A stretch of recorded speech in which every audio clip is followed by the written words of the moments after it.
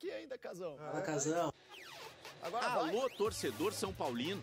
Pra você que tem calafrios quando a bola fica perto do gol e Thiago Volpe participa da troca de passes, Nossa senhora! Vem chute pro gol! a notícia é a seguinte: isto tudo vai continuar. Óbvio que ele não é um camisa 10 do time, um armador, mas a gente sabe que o princípio do nosso jogo começa com o Thiago, porque ele é um jogador que faz parte do sistema do time e, e óbvio que a gente confia muito, confia muito nele. Aí um opositor ao método, Fernando Diniz, pode até lembrar que o gol na Ilha do Retiro não saiu de uma troca de passes, mas sim de um tiro de meta. É verdade, mas a superioridade numérica só ocorreu porque o adversário avançou os jogadores para tentar marcar pressão e roubar a bola. Entendeu?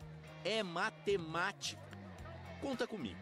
Um, dois, três, quatro, cinco, seis, sete, oito jogadores do esporte no campo do São Paulo, mais gente no ataque, menos gente na defesa. Luciano ganhou de boa na boa e achou o Pablo se movimentando.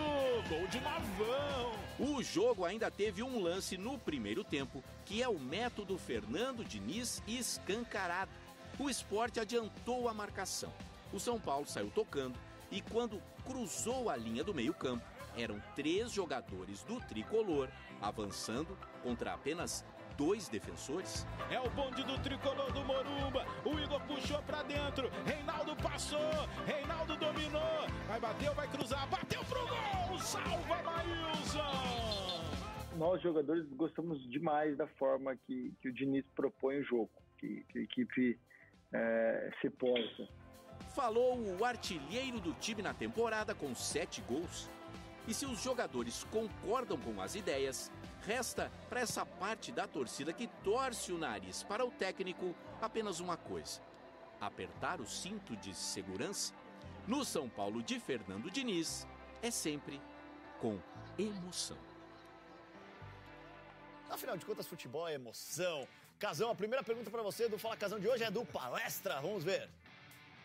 Fala Casão, boa tarde. Meu nome é Guilherme, sou aqui da Zona Norte de São Paulo e a pergunta de hoje é referente a um comentário do PVC.